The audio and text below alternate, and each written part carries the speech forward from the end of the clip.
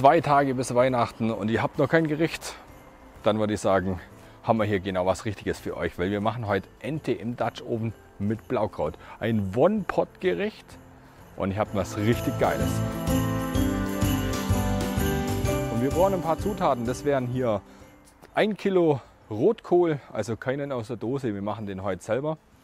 Dann haben wir vier Äpfel, zwei Orangen, zwei rote Zwiebeln, zwei weiße Zwiebeln, bisschen Rotwein, Lorbeerblätter, Wacholderbeeren braucht man natürlich, Zucker, dann Maronen. Maronen gibt es, ihr könnt sie selber machen im Backofen, aber die gibt es halt schon vorgekocht. Ist natürlich viel einfacher. Dann haben wir an Gewürze Salz, Majoran, gemahlene Nelken. Nimmt lieber ganze, ich habe keine mehr im Haus, darum nehme ich gemahlene, weil da die Dosierung ein bisschen schwieriger ist, wie ähm, einfach ähm, die ganzen. Schwarzer Pfeffer und ein Hähnchengewürz. Jeder fragt sich jetzt, ey, ihr macht Ente, da müsst ihr einfach ein richtig schönes weihnachtliches Gewürz machen. Ich hasse es. Ich hasse es einfach jedes Mal, wenn ich irgendwo eine Ente bekomme, da schmeckt alles nur nach Zimt, Orangen und tralala. Und deswegen will ich die Haut von der Ente, dass sie nicht danach schmeckt, weil das Blaukraut und das allen drum und dran wird weihnachtlich abgestimmt. Aber was darf noch nicht fehlen? Genau, wir haben hier einen 9er Dutch Oven, den Mein Dop von Barbecue Toro, hier unten wieder verlinkt, wer noch nicht hat oder eine andere Größe braucht. Äh, Infobox aufklappen, da könnt ihr bestellen. Und eine Ente. Wir haben hier 2,3, 2,5 Kilo hat die Ente. Das reicht locker für vier, fünf, sechs Personen, je nachdem, wie viel ihr immer esst. Und wir fangen jetzt als allererstes an, das Rotkraut schon mal vorbereiten, weil das kommt unten in Dutch Oven rein, bevor wir die Ente machen. Das machen wir jetzt. Der Dutch Oven lassen wir jetzt hier noch so stehen und fangen jetzt an mit unserem Rotkraut, Blaukraut, können es auch, also Rotkohl nennt man es. Hier die alten Blätter, die machen wir auf jeden Fall mal weg, bis es so richtig schön glänzig wird. Also die ganzen ranzigen, also alles, mir macht alles weg, was ihr sagt, das wollt ihr nicht so lang macht er die Blätter einfach weg. Das sieht jetzt so aus, der glänzt jetzt richtig schön. Hier hat er noch ein bisschen so, es ist halt vom Transportieren ein Schlag. Absolut in Ordnung. Das können wir so lassen. Den Strunk schneiden wir natürlich raus.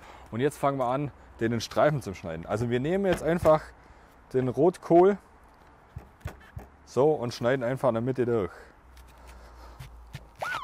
So, den Strunk können wir jetzt rausschneiden oder wir lassen ihn eben noch drin. Und jetzt schneidet dann einfach in schöne Streifen. In solche Streifen, wie ihr das einfach wollt. Und schaut euch das an. Das sind richtig schöne Stücke. Also ihr könnt es jetzt nur in der Mitte durchschneiden, wenn ihr das einfach wollt. Wenn es euch zu groß ist, dann macht ihr das. Einfach dann nehmen und so durchschneiden. Vollkommen in Ordnung. Sind sie kleiner. Dann nehmen wir mal den Deckel schon mal runter. Warum? Kein Platz mehr. Das kommt jetzt alles gleich in den Dutch Oven rein. Verteilen wir einfach schön rein. So, Finger sind schon mal schön blau. So muss es sein. Hier haben wir der restliche Rotkohl, äh, Rotkohl noch geschnitten. Ähm, hier haben wir den Dutch Oven. Schaut euch das an. Ich packe das jetzt einfach so rein. Holt euch dann mal näher her. Dann nehmen wir unsere Äpfel. Ja, hierher. Dutch Oven kurz auf den Boden stellen. Unsere Äpfel entkernen die. Also einfach der Kern unten raus.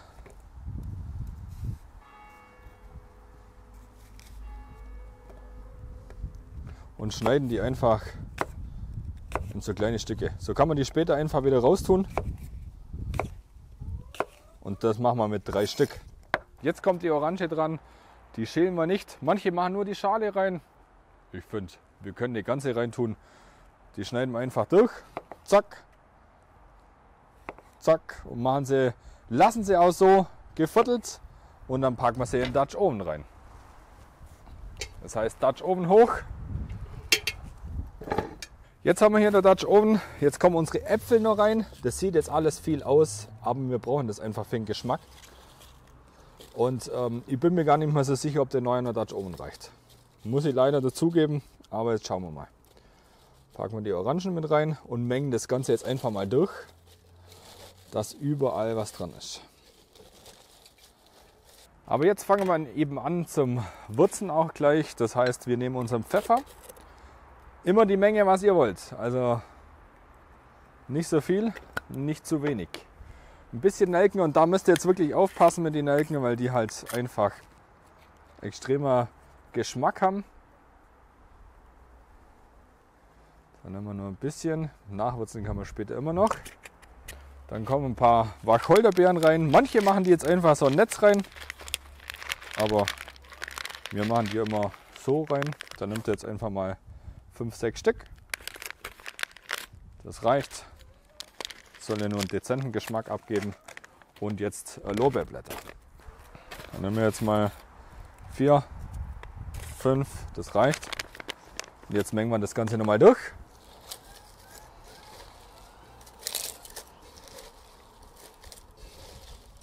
Den stellen wir jetzt so wie ist komplett auf die Seite. Und jetzt brauchen wir nämlich wieder unser Brett. Und da wurden jetzt unsere Zwiebeln geschnitten, unsere Maronen gleich geschnitten. Und dafür kommt jetzt auch die Schüssel zum Einsatz. Da kommt nämlich alles rein. Das heißt, wir machen unsere Zwiebeln einfach klein. Ich habe jetzt hier die Zwiebeln geschnitten, die Äpfel in kleine Würfel und diesmal nur die Schale genommen. Äh, nicht mega kleine Stücke, weil die kommen später wieder raus. Sind wir uns ehrlich, Orangenschalen will keiner essen. Dann nehmen wir hier unsere äh, Schüssel und da kommt jetzt erstmal alles rein. Also unsere Schalen. Da könnt ihr alles einfach durcheinander reinwerfen, das spielt keine Rolle, weil das wird die Füllung der Ente. Jetzt kommen unsere Maronen zum Einsatz, die machen wir einfach auf. Schneiden sie auf, die sind so schön verpackt, vakuumiert. Und die könnt, wow, da haut schon mal eine ab. Die könnt ihr, wie ihr wollt, jetzt ganz oder einmal durchschneiden, reinpacken. Also ich schneide sie einfach mal ein bisschen so durch, so grob hacken. Das reicht mir eigentlich immer. Und jetzt kommt das auch in die Schüssel dazu. Wird alles vermengt. Und das kommt jetzt alles in diese Ente rein. Also soweit es reingeht, so weit füllen wir das. Dann nehmen wir einfach eine gute Handvoll und ab in die Ente. Hier haben wir Zahnstocher und hier können wir sie schön verschließen. Ich mache mal einen Zahnstocher hier rüber. Dann mache ich unten einen Zahnstocher. Und dann noch einen da unten rein und das war's schon. Bitte merkt euch, wie viel Zahnstocher ihr reinpackt habt. Es ist mir schon passiert, dass ein Zahnstocher abgehauen ist und keiner weiß es mehr. Ihr müsstet jetzt nicht komplett verschließen, weil äh, das kommt nicht auf die Roti oder sonst irgendwo hin, sondern in Dutch Oven rein. Das bewegt sich einfach nicht mehr. Von daher alles ganz cool. Jetzt holen wir unseren Dutch Oven mal wieder hoch. Und jetzt versuchen wir die Ente da reinzukriegen. Wird natürlich richtig tricky und wahrscheinlich unmöglich. Ich würde sagen, passt, oder? Schauen wir mal, Deckel drauf. Jo. Ihr müsst es natürlich jetzt rechnen, der Rotkohl, der kocht jetzt nach nur zusammen und geht nach unten weg. Jetzt haben wir unsere Ente so drin und jetzt müssen wir aber nur eins tun, das heißt nämlich würzen. Und dann nehmen wir einfach unser Just Spice und würzen unsere Ente. Die wird natürlich jetzt zwei Stunden im Dutch Oven richtig Geschmack abkriegen. Dann holen wir sie mal kurz wieder raus mit den Flügeln. Und warum mache ich es hier drin? Ja, sonst hätte ich die ganze Sauerei mit dem Gewürz überall. Und so bleibt das Gewürz im Dutch Oven drin und würzt alles nur ein bisschen mit. So. Jetzt haben wir gewürzt. Was fehlt jetzt noch? Genau, unseren Rotwein. Da kommt jetzt circa einen halben Liter Rotwein rein. Einfach an der Seite eingießen. Ja, da passt schon noch. Als Krönung noch ein bisschen Zucker rein als Gewürz. Ein bisschen außenrum. So, und jetzt kommt der Deckel drauf und Kohlen drauf. Packen wir jetzt da drauf. Und jetzt passt bitte auf packt jetzt nicht die ganzen Kohlen oben drauf. Also ich packe jetzt erstmal zwei drauf. Hat den Grund, weil der Rotkohl erstmal verkochen muss, dass die Ente nach unten geht. Wenn wir jetzt da oben voll ballern würden mit Kohlen, wäre es uns innerhalb von einer halben Stunde schwarz und das Ding wäre für ein Pöppes. Drum äh, einfach zwei Kohlen drauf und die anderen lassen wir einfach nach unten. Die könnt ihr jetzt vielleicht näher hinschieben, da gibt es ein bisschen mehr Hitze, aber wirklich aufpassen weil der Dutch Oven einfach so randvoll ist. So, das Ganze lasse ich jetzt mal eine halbe Stunde vor sich hin, weil der ist jetzt kalt, der ist jetzt nicht vorgeheizt. Hier haben wir, wir haben jetzt eine Außentemperatur von, glaube minus 2 Grad, also es ist wirklich wieder kalt. Ähm, und da lassen wir jetzt einfach mal ausheizen, aufheizen und eine halbe Stunde gucke ich mal rein. Wirklich aufpassen, weil, wie ihr seht, oh das heißt, steht das alles ziemlich an und ich will jetzt das Rotkohl erstmal verkochen und dann wird es passen. Okay, Wir haben jetzt zwei Stunden rum. Ihr merkt schon, da waren vorher noch mehr Kohlen drauf. Jetzt sind es leider bloß noch vier. Hier habe ich noch ein Thermometer. Sieht man das eigentlich? Jo, sieht man. Und ein Handschuh. Da mache ich jetzt mal den Deckel weg. Und dann gucken wir gemeinsam rein. Mega cool sieht schon mal aus. Es blubbert noch schön vor sich hin. Duft steigt richtig so weihnachtlich hoch. Und jetzt gucken wir mal, wir stechen jetzt rein. Wir wollen die Temperatur von 80 bis 90 Grad ab. Aber wo gehen wir dann da rein? Sieht man es? Wir haben jetzt 73 Grad. Also, wir peilen jetzt eine Temperatur, sagen wir, von 80 Grad an und wollen jetzt aber diese Haut da oben noch knusprig kriegen. Also das heißt Deckel drauf und jetzt packen wir die kompletten Kohlen, was noch unten drin sind, oben drauf, um dass wir noch eine richtig schöne Kruste hinkriegen. So, Viertelstunde ist jetzt rum und jetzt äh, machen wir mal der Dutch oben auf und guckt euch das an. Richtig cool. Ist ein bisschen nachgedunkelt, also ist besser geworden von der Hitze, aber ich glaube komplett ähm, knusprig ist leider die Kohlen zu wenig Hitze abgegeben, hätte ich noch welche machen müssen. Aber es ist halt einfach so, jetzt gucken wir aber mal, wie das Ding schmeckt und machen wir mal einen Anschnitt. Da holen wir das Dutch Oven an den Tisch, bauen das Licht um und los geht's.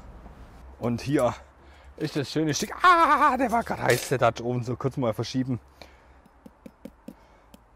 Ja, hm. ja, knusprig ist leider nichts. Also das kann man nicht als knusprig durchgehen lassen, aber gut. Naja, so ist es einfach. Ich würde sagen, wir schneiden ein Stück ab. Ja, was schneiden wir denn? Was schneiden wir denn? Ja. Also saftig, haha, heißt. Ha. Saftig ist es schon mal. Und durch auf jeden Fall auch. Und da bin ich für euch. Äh, die Ente am Boden, äh, die Enten hier unten und das Licht ganz dimmrig. Ja, es ist dunkel geworden, haben eine Jacke noch anzogen, weil es so kalt ist. Und hier ein Stück Ente. Ähm, die Haut leider nicht knusprig. Ich hätte da mehr Kohlen machen müssen und die dann später drauf tun.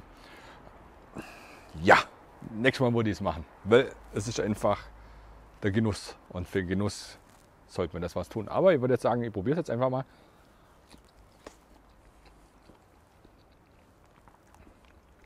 Geschmacklich sehr geil. Ich liebe einfach so den. Ente hat so einen, einen Entengeschmack, kann man so sagen. Also schmeckt ja nicht wie Hühnchen. Und ich finde es ganz gut, dass die Haut nicht nach Orange und Co. schmeckt. Ich mag das einfach nicht, wenn alles so extrem schmeckt. Und jetzt haben wir eben nur das Blaukraut da unten. Ich würde sagen, dann nehme ich jetzt noch ein Stück raus. Bei dem habe ich schon eher ein bisschen Bauchweh, weil ob da jetzt nicht das ganze Fett von der Ente, das habe ich mir am Schluss einfach gedacht, wo ich alles rein habe. Ähm, das Fett von der Ente tropft jetzt halt alles runter, da wäre es ja, besser, man hätte so einen Schäm, also so, so, ein, so ein Teil unten reingemacht, dass das Fett unten sich aufsammelt. Aber jetzt gucken wir mal, die Ente war jetzt nicht so mega fettig, aber es gibt halt viele Enten, die sind fettig. Ich würde sagen, ich probiere es einfach mal. Blau-Rot. Ich habe das jetzt ein bisschen durchgerührt. Natürlich ist es ein bisschen fettig, das merkt man. Aber das schmeckt geil. Also es schmeckt richtig, richtig geil. Es schmeckt jetzt anders. Ich habe jetzt ein bisschen viel Pfeffer. Ich habe ein bisschen zu viel Pfeffer reingebracht. Das ist natürlich ähm, ein bisschen schärfer, aber sonst macht keinen Abbruch. Mega cool. Mega geil. Also muss ich echt sagen, ich bin jetzt überrascht davon. Ich dachte jetzt, oh Gott, das Fett und uh. Aber geil. Ich würde sagen, ihr probiert es einfach mal aus wenn ihr nichts für Weihnachten habt. Wenn ihr natürlich kein Fett mögt, dann macht es bitte extra. Habt ihr zwei Dutch Öfen, ist natürlich leichter, könnt das in zwei machen. Oder ihr macht die Ente einfach so, ein bisschen Blaukraut. Ich finde, das hat so ein bisschen so, so ein, einfach so einen Geschmack nur hinten raus mit dem Blaukraut, wenn ihr drauf liegt. Und macht euch ein Blaukraut aus dem Glas oder so. Machen ja viele. Geiles Weihnachtsessen. Absolut.